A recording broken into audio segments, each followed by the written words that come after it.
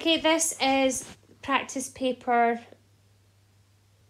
two of paper I, so we're allowed a calculator for this one. Okay, question one wants us straightforward round to four significant figures. I'm just going to make this a bit bigger.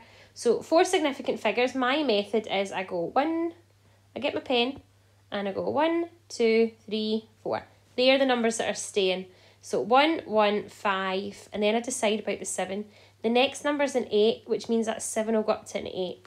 And then all these other digits have to become zeros for the place value. So I've got three zeros, three zeros, three zeros. That is my answer to four significant figures. Okay, that's question one.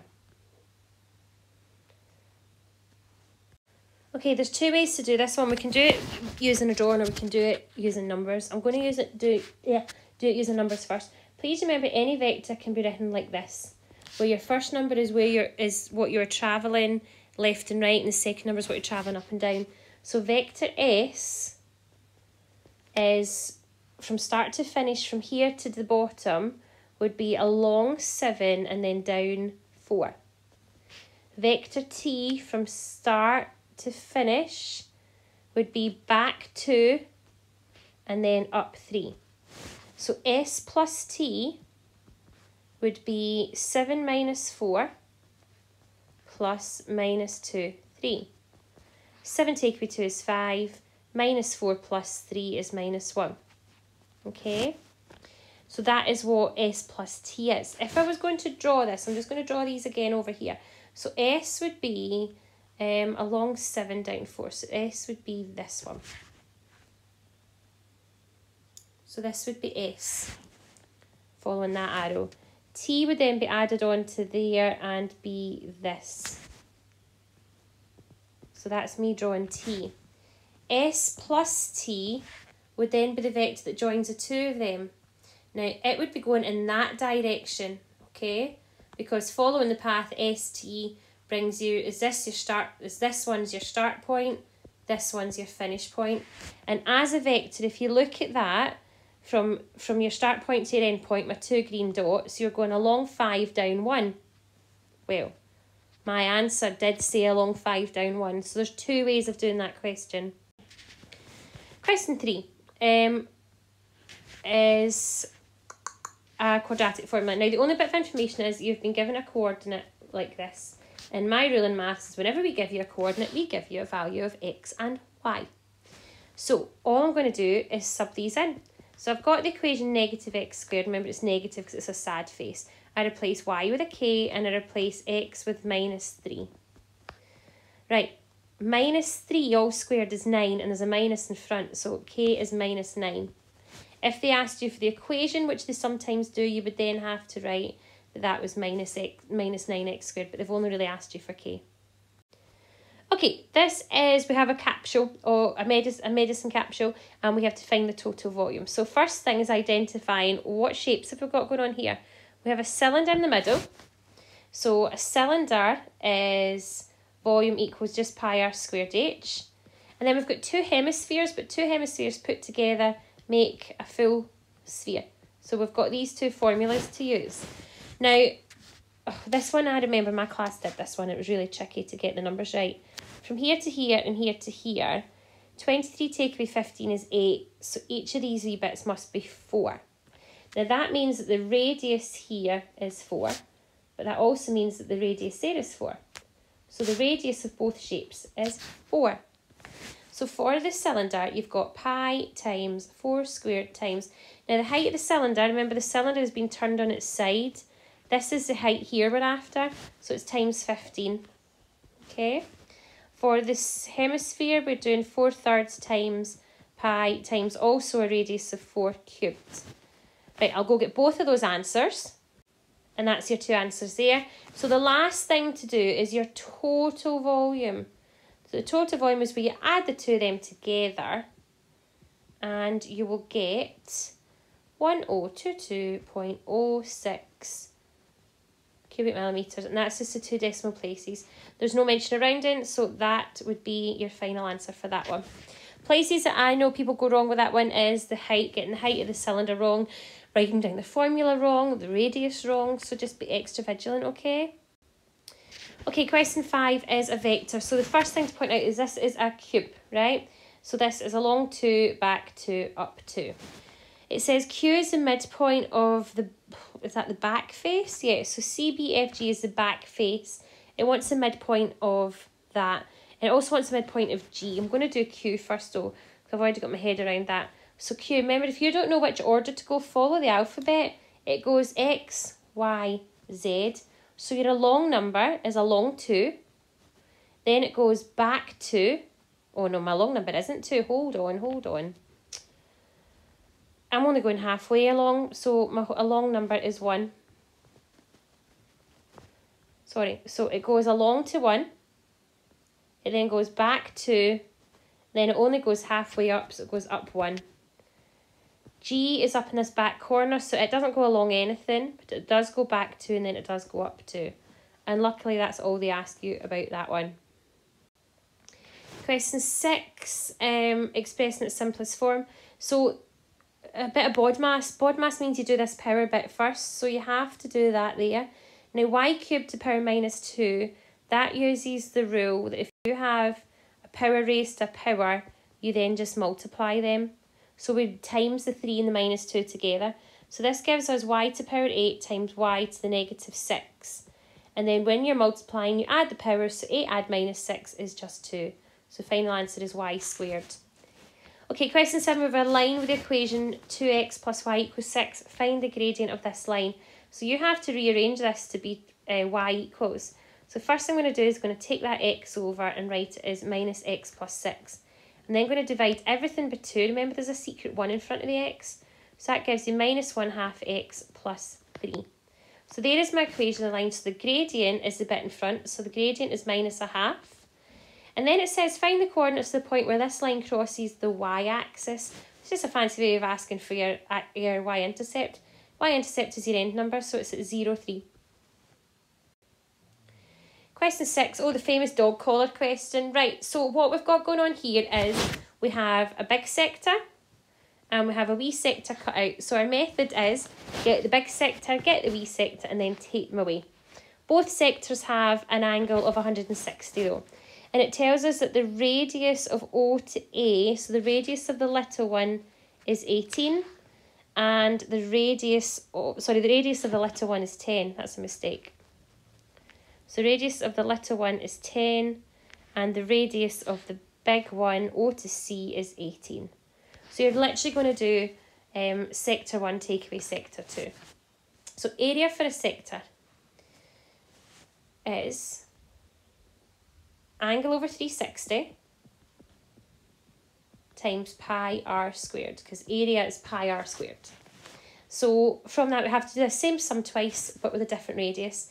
So for the big one, we'll do 160, so we'll just call it volume area 1, is 160 over 360 times pi times 18 squared. Area 2 is going to be 160 over 360 times pi times 10 squared. Going to get both those answers. So that's the two answers to two decimal places. So the shaded area is area 1 take away area 2 so subtracting those two answers gives you 312.76 centimetres squared and I'm just saying that that was to two decimal places because it's not exact. Okay. Question 9, show this equation real roots. So first thing I have to do is get that into the standard form ax squared plus bx plus c. So let's multiply this out. So that gives me 5x minus 2x squared equals 7 oh, I'm going to take the 2x squared over to this side because I don't like it where it is. I don't like it being negative. So I've got 2x squared. The 5 is going to come over as well. So minus 5x. 7 is already positive. So I've got that. So A is 2, B is minus 5, and C is 7. Right, I have to show that this is no real roots. So that's how I know to use discriminant. So no real roots means my answer should be negative. So B squared minus 4AC is minus 5 squared, which is 25 take away 4 times 2 times 7, which is 25, take away 56, which is, oh my goodness, minus 31. So because b squared minus 4ac is less than 0, there are no real roots. And that's the conclusion you have to write for that one. You just can't relieve it as minus 31, okay? Question 10 what's the size of angle QPR? So it wants that angle in there. It tells us that the area of the thing is 12. So we start with area equals half AB sine C. I know my area is 12, so half of my two sides, don't know sine C, so I'll leave it as sine C. Then I'm going to do a wee bit of tidying up. So I know 12 equals a half of 5 times 6 is 15. Then do 12 divided by 15 equals sine C. And if I do shift sine of 12 divided by 15, my acute angle is 53 degrees. But remember, they wanted the obtuse angle. So remember, in all sine, tan, cos equations, if you've done these, there are two answers for sine. There is your acute answer of 53, and there is the other one where it's obtuse. So where angle C is 180, take away 53, which is 127. So if ever asks for the obtuse angle, it's literally just taken away from 180. But if you've been taught all sine, tan, cos questions already, that should be okay. Question 11 is a missing angle one. A quick read of the information tells us that there is no tangents and there is no diameters. So there are no right angle triangles here. Oh, no, there's no right angle triangles at all. So the only thing that's going to be happening in this one is some radiuses. So radius, radius. There's my wee isosceles triangle. Um, they want, sorry, I need to read the question. Calculate the length of A to C. So they want this. Okay, so I'm going to in some missing angles first of all. So 98, 180 take away 98 leaves me with 82. 180 take away 82 is 98. 98 halved makes these two in here both 49. Oh, this is on a straight line. So 180 take away 49 is 151. So I've got some information now. I think I'm going to zoom back out a bit and read what else. I didn't actually read the whole question. It tells us that uh, D to C is 9 centimetres. So this is 9 centimetres. The radius of the circle is 7. Right, I'm going to draw this triangle out again. So basically, what I've got is I've got this triangle that's really badly drawn. Right got this triangle here, right? This is C, this is A, and this is D. My angle is 151. This is 9. A to D is the diameter, so if the radius is 7, then that's 14. And then I want this. It's a cosy corner, two sides and angle in between. So x squared equals 14 squared plus 9 squared minus 2 times 14 times 9 times cos of your angle, so cos 51 which gives you 497.40 blah blah blah blah. But remember we then square root that and I square root the exact answer so it's all on my calculator still and it gives us 22.30 I'm just going to leave it as 3 22.3 centimetres. So that was a wee twist of angles and a bit of trig put together. Question 12, we have a right angle triangle. We have to find the calculate the value of x. Right, Pythagoras. Right angle triangle is always Pythagoras. Mr. Pythagoras says that c squared equals a squared plus b squared. So we're going to do the exact same. So you've got x plus 8 all squared equals. I'm going to put the b first though because that's got the bracket in it. So x plus 7 all squared plus x squared. So there's your starting point. Square both of these brackets. Remember that's the same as x plus 8 written out twice. And that's x plus 7 written out twice. So you need to multiply out those brackets, giving you x squared plus 8x and 8x goes to 16x plus 64. You might need to take an extra line of working in there. 7x and 7x is 14x and 49 plus x squared. Question is where do you want to go from there? I'm very quickly going to tidy that up a wee bit. So I've got x squared plus 16x plus 64 is 2x squared plus 14x plus 9. 49. Question is, do I want to take everything to the left or everything to the right? I'm going to take everything to the right purely because that's where the biggest x squared is. So I have got 2x squared take away x squared leaves me with x squared. I've got 14 take away 16, which gives me minus 2x. And then I've got 49 take away 64, which gives me minus 15. And that all equals 0, so it doesn't matter which side my 0 goes on. So it goes to there. Now, they asked us to find x, so this is a wee weird lead into quadratic equation. We're looking for two values that multiply to 15, multiply to minus 15 and add to minus 2. So it's something to do with a 3 and a 5. It's going to have to be 3 take away 5. If you then solve each of those, so x plus 3 equals 0, that gives you x is minus 3. And x minus 5 is 0, that gives you x equals 5. Now bear in mind that x was a length. x can't be minus 3, right? So we just write that that one's not possible. You can't have a negative length. So x equals 5. That's what they wanted for that one. Okay, question 13 or 15. 13. This, I just know from this diagram, I've seen that much them. This is your double sine rule question. We have to find the height of the building. First thing we're going to do is we're going to fill in loads of missing angles, right? So angles, um, we have a straight line here. 180 take away 55 is 125. Up in the top corner, um, this one is 145 away from 100, so that's 35.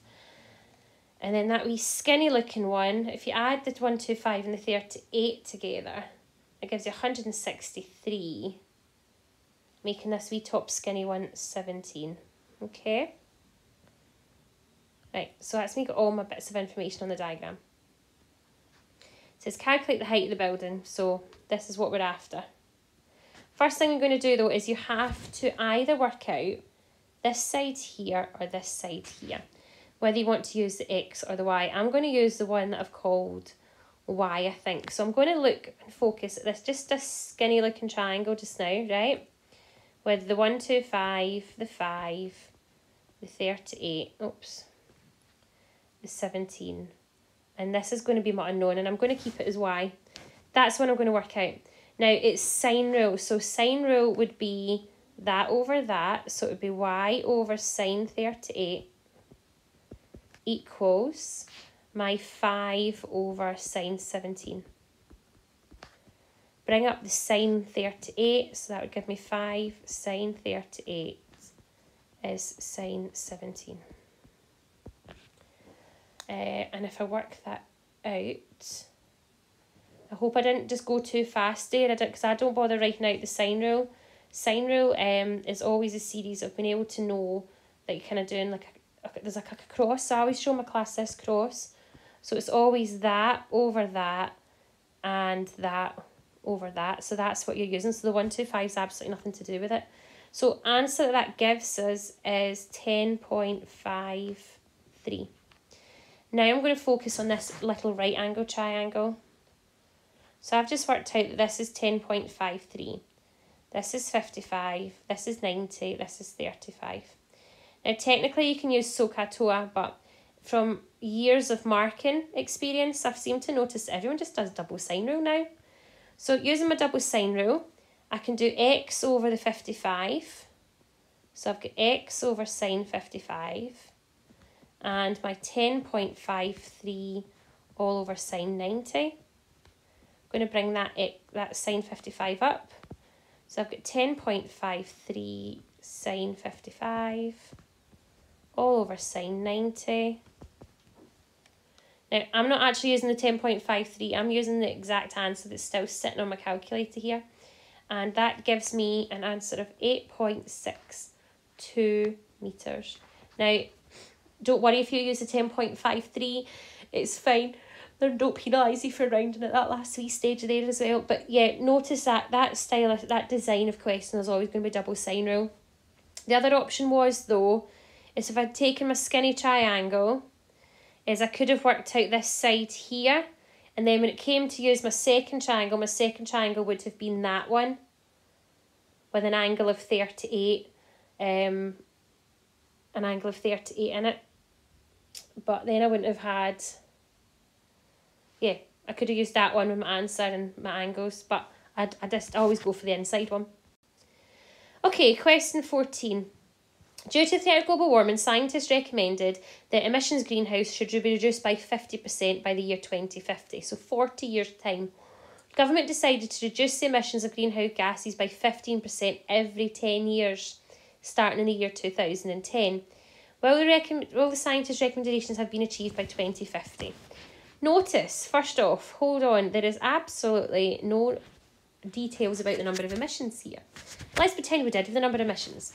If we were going to reduce something by 15%, what would we use? Well, you would do 100 take away 15 is 85%, and 85% as a decimal would be 0.85. Now, it said every 10 years. So how many 10, right, so from two, 2010 to 2050 is 40 years. How many tens is that? That's 4. So we'd use the power of 4. They didn't give you a starting value though technically you don't need a starting value.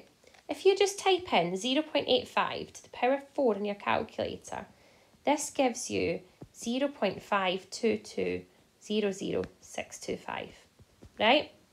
So that means that at the end, there's going to be roughly 52% of the gases left. They were aiming to reduce by 50. We've not quite made it. If you don't like that though, pick a number, right? Make your initial value something, doesn't matter what you choose. So let's make the initial value 200, right? If your initial value is 200, what are you aiming for to half it? You're aiming for 100, yeah? So if I do 0 0.85 to the power of 4 times 200, let's see what this gives us. 0 0.85 to the power of 4 times 200 gives us 104.40. So if my initial value of um, emissions was 200, if I reduce it by what they're aiming to do, 15%, it's going to be reduced to 104. They've not quite made 50%. They haven't. Okay, they've only really made about 47%.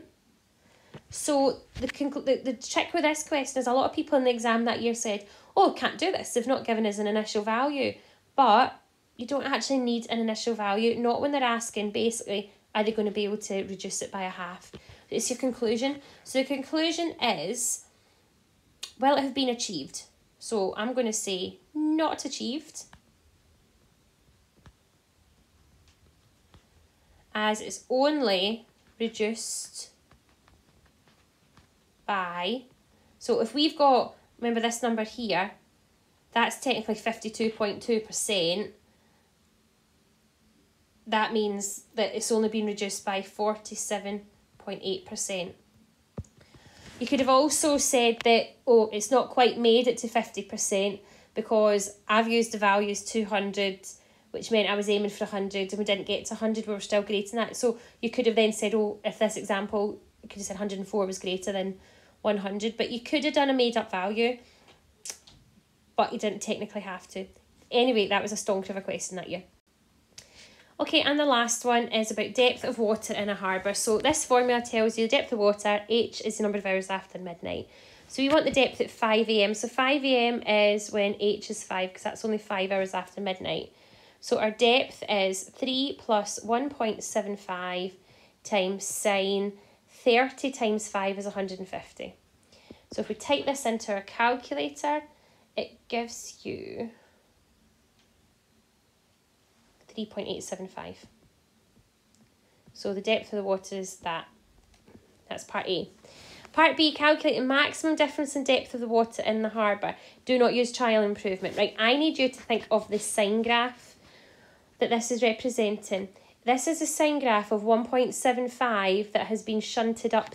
So the maximum of that graph would have been 1.75 and the minimum of that graph would have been minus 1.75 and I've shunted up 3, so that's 4.75. And I've shunted that one up 3, which is 1.25. So the maximum depth of the water is 4.75. The minimum depth of the water is 1.25. The difference is the difference between these two numbers, which is a difference of 3.5 metres. Now you technically didn't even need to deal with the plus 3 bit. The difference is just like the, oh sorry, uh, the difference is just this. From the top of your sine graph to your bottom of your sine graph, which is 1.75 up, 1.7 down. Double of 1.75 is 3.5.